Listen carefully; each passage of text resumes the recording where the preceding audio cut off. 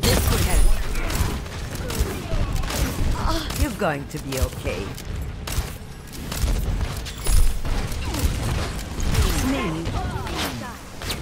And you.